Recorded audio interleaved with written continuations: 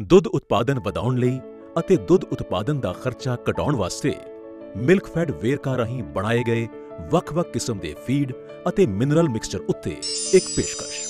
ਸਾਡੇ ਨਾਲ ਇਸ ਵੇਲੇ ਖਾਸ ਤੌਰ ਤੇ ਮੌਜੂਦ ਨੇ ਕਮਲਦੀਪ ਸੰਘਾ ਜੀ, ਜੋ ਕਿ ਮਿਲਕ ਫੈਡ ਦੇ ਮੈਨੇਜਿੰਗ ਡਾਇਰੈਕਟਰ ਨੇ। ਸਰ, ਬਹੁਤ ਬਹੁਤ ਸਵਾਗਤ ਹੈ ਤੁਹਾਡਾ।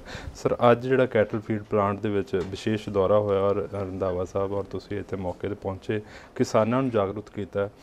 ਸਰ, ਜਿਹੜਾ ਅੱਜ ਪ੍ਰੋਡਕਟ ਜਿਹੜੀ ਲਾਂਚ ਕੀਤੇ ਫਰਟੀਲਿਟੀ ਬੋਲਸ ਸਭ ਤੋਂ ਪਹਿਲਾਂ ਸਾਡੇ ਦਰਸ਼ਕਾਂ ਨੂੰ ਉਸਦੇ ਬਾਰੇ ਦੱਸੋ ਕਿ ਇਹਦਾ ਕੀ ਲਾਭ ਜਿਹੜਾ ਕਿਸਾਨੀ ਨੂੰ ਹੋਣ ਜਾ ਰਿਹਾ ਔਰ ਡੇਰੀ ਫਾਰਮਰਸ ਦੇਖੋ, ਅੱਜ ਸਾਡਾ ਕੈਟਲ ਫੀਡ ਪਲਾਂਟ ਭੱਟੀਆਂ 'ਚ ਫਰਟੀਲਿਟੀ ਬੋਲਸ ਜਿਹੜਾ ਕਿ ਤਿਆਰ ਕੀਤਾ ਗਿਆ, ਉਹਦੇ ਵਾਸਤੇ ਅਸੀਂ ਉਚੇ- ਉਚੇਚੇ ਤੌਰ ਤੇ ਰੰਧਾਵਾ ਸਾਹਿਬ ਜਿਹੜੇ ਕਿ ਸਾਡੇ ਸਹਿਕਾਰਤਾ ਮੰਤਰੀ ਨੇ ਉਹਨਾਂ ਨੂੰ ਬੇਨਤੀ ਕੀਤੀ ਸੀ, ਕਿਉਂਕਿ ਇਹ ਬਹੁਤ ਜ਼ਰੂਰੀ ਹੋ ਜਾਂਦਾ ਕਿ ਜਿਹੜੀ ਇੱਕ ਐਡੀ ਇੰਪੋਰਟੈਂਟ ਚੀਜ਼ ਹੈ, ਜਾਨਵਰ ਦੀ ਫਰਟੀਲਿਟੀ ਉਹਦਾ ਸਮੇਂ ਸਿਰ ਸੂਣਾ, ਸਮੇਂ ਸਿਰ ਹੀਟ ਚ ਆਉਣਾ, ਇਹੀ ਇੱਕ ਡੇਰੀ ਫਾਰਮਰ ਦਾ ਜਿਹੜਾ ਪ੍ਰੋਫਿਟ ਦਾ ਮੇਨ ਕਾਰਨ ਹੈ। ਜੇ ਜਾਨਵਰ ਰਿਪੀਟਰ ਹੋ ਜਾਂਦਾ, ਚਾਹੇ ਗਾਂ ਜਾਂ ਮੱਝ ਤੁਹਾਡੀ ਹੀਟ 'ਚ ਨਹੀਂ ਆਉਂਦੀ, ਵਕਤ ਸਿਰ ਕਾਵਿੰਗ ਨਹੀਂ ਹੁੰਦੀ, ਨਹੀਂ ਸੂੰਦੀ ਤਾਂ ਉਹ ਇੱਕ ਘਾਟੇ ਦਾ ਸੌਦਾ ਬਣ ਜਾਂਦਾ। ਸੋ ਮਿਨਿਸਟਰ ਸਾਹਿਬ ਨੇ ਇਸ ਕਰਕੇ ਇੱਥੇ ਆ ਕੇ ਇੱਕ ਤਾਂ ਇਹ ਫਰਟੀਲਿਟੀ ਬੋਲਸ ਜਿਹੜਾ ਸਾਡੀ ਬਿੱਲ ਹੈ ਉਹ ਰਿਲੀਜ਼ ਕੀਤੀ। 6-7 ਹਫ਼ਤੇ ਦੇ ਇਹ ਕੋਰਸ ਹੁੰਦਾ।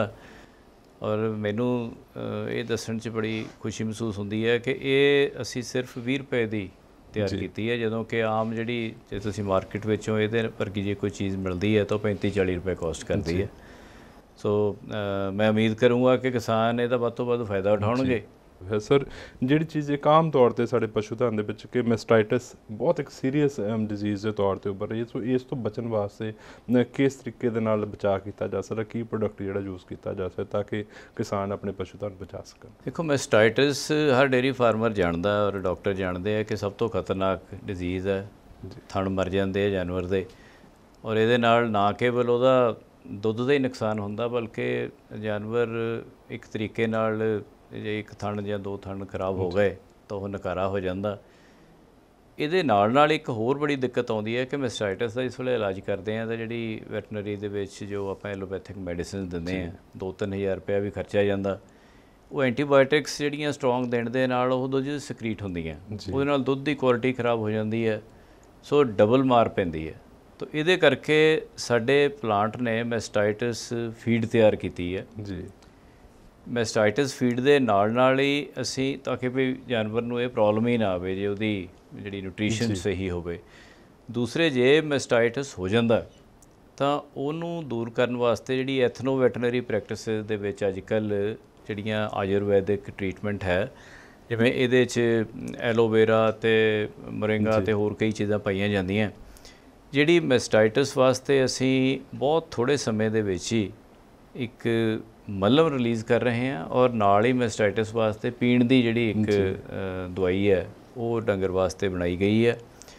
ਇਹ ਤਿੰਨੇ ਚੀਜ਼ਾਂ ਮੈਂ ਸਮਝਦਾ ਕਿ ਮੈਸਟਾਈਟਸ ਦੀ ਪੰਜਾਬ ਦੇ ਵਿੱਚ ਸਾਡੇ ਡੇਅਰੀ ਫਾਰਮਰ ਦੀ ਸਪੋਰਟ ਲਈ ਰੋਕਥਾਮ ਦੇ ਵਿੱਚ ਬਹੁਤ ਵੱਡਾ ਇੱਕ ਸਟੈਪ ਹੋਊਗਾ।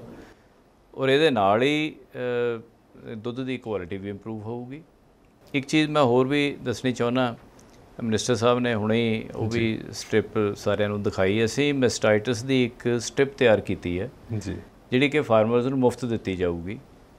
ਮੈਸਟਾਈਟਸ ਦੋ ਤਰ੍ਹਾਂ ਦਾ ਹੁੰਦਾ। ਪਹਿਲਾਂ ਸਬ ਕਲੀਨਿਕਲ ਹੁੰਦਾ ਜਿਹਦੇ ਕਿ ਬਾਹਰਲੇ ਲੱਛਣ ਅਜੇ ਨਹੀਂ ਆਉਂਦੇ ਨਹੀਂ ਪਤਾ ਲੱਗਦਾ ਫਾਰਮਰ ਨੂੰ। ਲੇਕਿਨ ਸਬ ਕਲੀਨਿਕਲ ਮੈਸਟਾਈਟਸ ਵਿੱਚ ਵੀ ਜੇ ਤੁਸੀਂ ਦੁੱਧ ਦੇ ਦਾ ਟੈਸਟ ਕਰੋ। ਤਾਂ ਉਹਦਾ ਪਤਾ ਲੱਗ ਜਾਂਦਾ ਕਿ ਇਹਦੇ 'ਚ ਜਾਨਵਰ ਨੂੰ ਹੋਣ ਵਾਲਾ।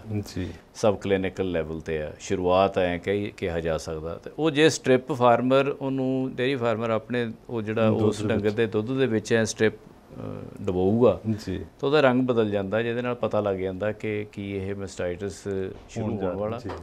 ਤੇ ਜੇ ਇਹ ਪਤਾ ਲੱਗ ਜਾਊਗਾ ਔਰ ਇਹ ਸਟੈਪਾਂ ਮੁਫਤ ਦਿੱਤੀਆਂ ਜਾਣਗੀਆਂ ਵਾਈਡ ਇਹਨਾਂ ਦਾ ਯੂਜ਼ ਹੋਊਗਾ ਤਾਂ ਮੈਂ ਸਮਝਦਾ ਕਿ ਬਹੁਤ ਵੱਡਾ ਸਟੈਪ ਹੋਊਗਾ ਇਹ।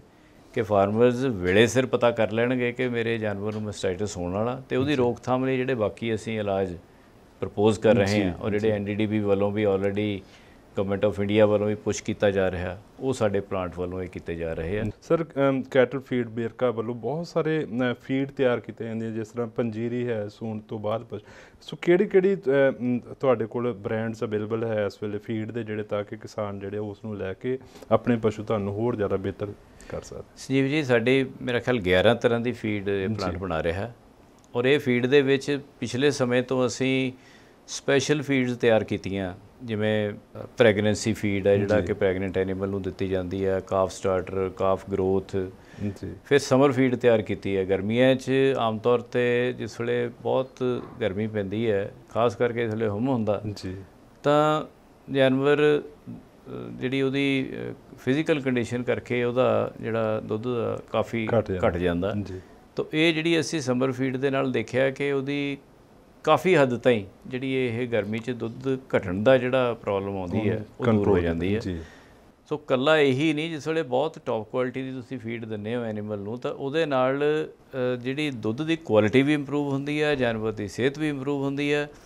ਜਿਹੜੀ ਵਧੀਆ ਹੈਲਥ ਕਰਕੇ ਔਰ ਉਹਦਾ weight ਛੇਤੀ ਗੇਨ ਹੁੰਦਾ ਤੇ ਜਿਹੜੀ ਅੱਗੇ ਜਿਵੇਂ ਕਹਿ ਲਓ ਵੀ ਗੱਭਣ ਹੋਣ ਦੀ ਜਿਹੜੀ ਅਵਸਥਾ ਉਹ ਬਹੁਤ ਛੋਟੀ ਉਮਰ ਦੇ ਵਿੱਚ 13 14 ਮਹੀਨੇ 15 ਮਹੀਨੇ ਵਿੱਚ ਹੀ ਆ ਜਾਂਦੀ ਹੈ। ਜਿਹਦੇ ਨਾਲ ਕਿ ਫਾਰਮਰ ਦੀ ਜਿਹੜੀ ਇਨਕਮ ਹੈ ਉਹ ਚ ਵੀ ਵਾਧਾ ਹੁੰਦਾ ਜਾਨਵਰ ਦੀ ਸਿਹਤ ਚੰਗੀ ਹੁੰਦੀ ਹੈ ਸਾਰਾ ਕੁਝ ਹੀ ਬਿਮਾਰੀ ਤੋਂ ਵੀ ਰੋਕਥਾਮ ਹੁੰਦੀ ਹੈ। ਜੀ। ਸੋ ਇਹ ਸਨ ਕਮਲਦੀਪ ਸੰਘਾ ਜੀ ਜੋ ਕਿ ਮਿਲਕ ਫੈਡ ਦੇ ਮੈਨੇਜਿੰਗ ਡਾਇਰੈਕਟਰ ਨੇ ਔਰ ਕਿਸਾਨਾਂ ਨੂੰ ਕਿਤੇ ਨਾ ਕਿਤੇ ਜਾਗਰੂਕ ਹੋਣਾ ਪਏਗਾ ਡੇਅਰੀ ਫਾਰਮਿੰਗ ਵੱਲ ਆਉਣਾ ਪਏਗਾ ਔਰ ਆਪਣੇ ਪਸ਼ੂ ਧਨ ਨੂੰ ਬਚਾਉਣ ਵਾਸਤੇ ਉਹਨਾਂ ਦੀ ਚੰਗੀ ਸਿਹਤ ਵਾਸਤੇ ਚੰਗਾ ਦੁੱਧ ਲੈਣ ਵਾਸਤੇ ਵੇਰਕਾ ਦੇ ਇਹ ਸਾਰੇ ਪ੍ਰੋਡਕਟ ਜਿਹੜੇ ਫੀਡ ਜਿਹੜੀ ਹੈ ਜਿਹੜੀ ਇਹਨਾਂ ਨੇ ਤਿਆਰ ਕੀਤੀ ਤੁਸੀਂ ਇਹਨਾਂ ਬਾਰੇ ਵੀ ਕਿਤੇ ਨਾ ਕਿਤੇ ਜਾਗਰੂਕ ਹੋ ਕੇ ਉਸ ਨੂੰ ਲਾਹਾ ਜਿਹੜਾ ਲੈਣਾ ਚਾਹੀਦਾ। ਸਾਡੇ ਨਾਲ ਗੱਲਬਾਤ ਕਰਨ ਲਈ ਬਹੁਤ ਬਹੁਤ ਸ਼ੁਕਰੀਆ ਸਰ। ਧੰਨਵਾਦ। Thank you